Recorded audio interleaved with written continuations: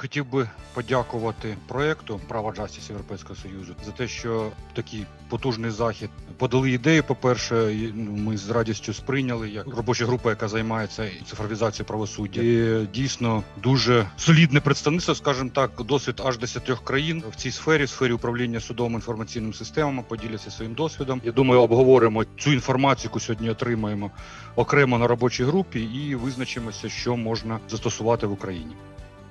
Когда мы начали два года назад, разработка ИСИЦа пошло в полном разгаре. Понятно было сразу, что это очень современный, амбициозный проект модернизации, и с этим свои опасности появлялись. Мы вначале изучали и посмотрели, как это развитие идет. Мы для судовой администрации дали оценку, что происходит и как происходит по нашему пониманию. И потом, когда развитие остановилось, мы еще анализировали дальше, как можно идти. Судова адміністрація Латвії відповідає не лише за розробку електронної справи, не лише за розробку інформаційної судової системи, а також за з'єднання електронної справи з послугом прокуратури та інших установ. Як установа, ми є прикладом управління судової системи, як аутсорс ресурсів, тобто ми дуже широко здійснюємо аутсорс розробки системи, і ми також передаємо на зовнішнє виконання дані. І задача судової адміністрації це лише координувати цю процедуру як таку. Електронні послуги в Латвії були введені у 2012 році. Вони доступні через електронний портал. В багатьох сучасних проєктах в інших країнах, де запроваджували сучасні ефективні судові системи, які були цифровими системами, все ще установи змушені були підтримувати документацію в паперовому форматі. Це не працює, бо всюди працівники суду все ще посилаються на документацію, яка видрукована, аналогова. Цифровізація становить додаткове навантаження. Бракує ініціативи, і ніхто не задоволений тим, що існує якась дивна гібридна система. Отже, якщо ви хочете запровадити цифрову систему, то потрібно зупинити аналогову, і тоді всі перейдуть на цифрові методи роботи. І ще один момент: можна запровадити гарні функціонуючі рішення, але безперечно потрібно належно підготувати людей. Литва займає перше місце в Європейському Союзі стосовно тривалості цивільних і кримінальних справ. І ми вважаємо, що частина цього успіху залежить від того, що більш ніж 70% справ у нас обробляються електронно. І звичайно, що цей досвід допомагає розповсюджувати цю ж концепцію на кримінальні справи. Коли говоримо про розвиток системи, ми кажемо зазвичай, що потрібно десятиліття для того, щоб створити гарну систему. Але всі ми водночас розуміємо, що такої розкоші вже не маємо. Не маємо можливості напрацьовувати електронні рішення впродовж десятиліть і навіть впродовж років, бо тепер життя змінюється настільки стрімко, що маємо готувати це за місяці. В Литві маємо основні принципи електронного правосуддя, закладені в процесуальному кодексі і в законі про судочинство, але це лише загальні принципи. У грудні 2018 року президент підписав документ, який затвердив державну програму про розробку правосуддя в Азербайджані на 2019-2023 роки. Як смарт-інфраструктура вона втілюється в життя Міністерством інфраструктури Азербайджану і фінансується Світовим банком.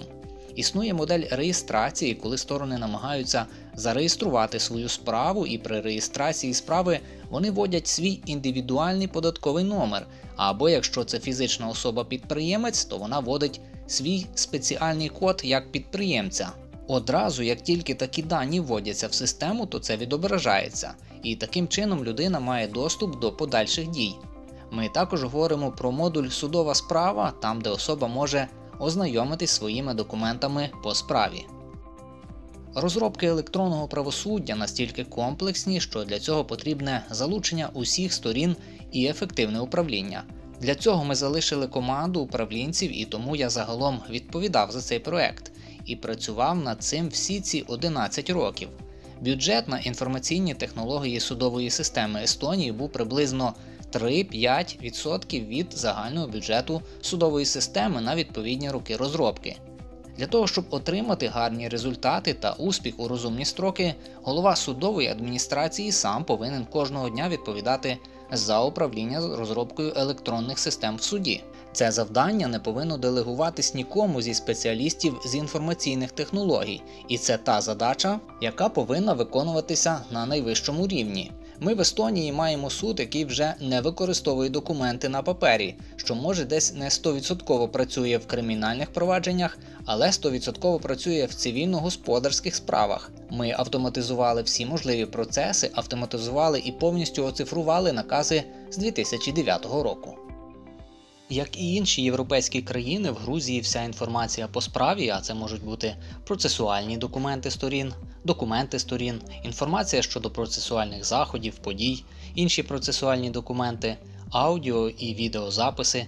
Вся ця інформація зберігається в цифровому депозитарі, яка називається електронна система документообігу суду. Система електронного ведення протоколів також використовується паралельно з системою електронного документообігу. Нова система замінила паперові протоколи і також допомагає отримувати усі протоколи в електронному вигляді. Також нова система для проведення онлайн-судових розглядів функціонує і в Грузії, активно застосовуються онлайн-судові засідання. Голови суду мають обмежений доступ до розподілення суддів, вони можуть тільки переглядати розподілення справи, і будь-які втручання з боку голови суду або вплив на конкретного суддю призводить до того, що робота такого голови суду припиняється.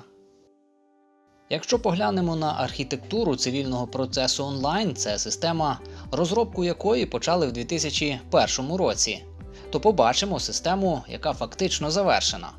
Це здійснюється в цифровому форматі, і адвокати мають взаємодіяти з судом виключно через цей цифровий канал.